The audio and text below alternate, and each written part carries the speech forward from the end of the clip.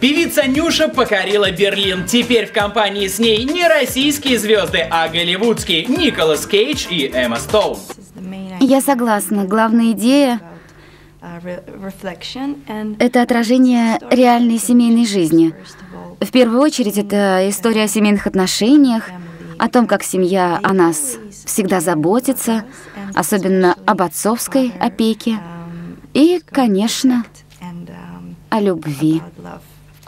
Николас Кейдж, он какой мужчина? Расскажи.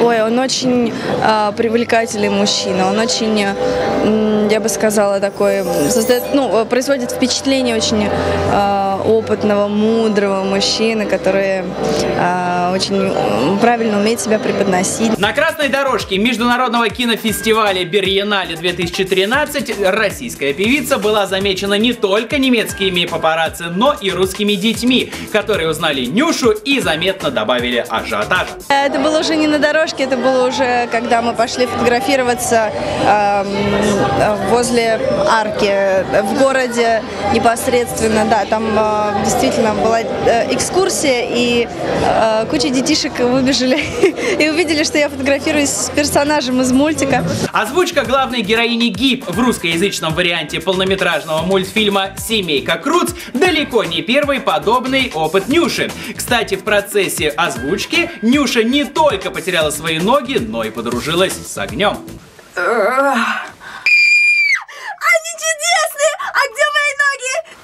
Здравствуй, огонь! Здравствуй, огонь! Я на самом деле в восторге от оригинальной фразы, потому что там английский язык, и она делает там такое лицо.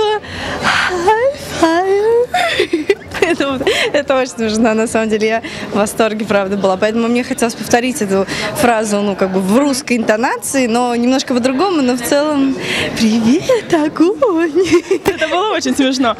Кстати, премьера мультика на российских экранах состоится уже в марте. Интересно, к нам Николас Кейдж тоже приедет?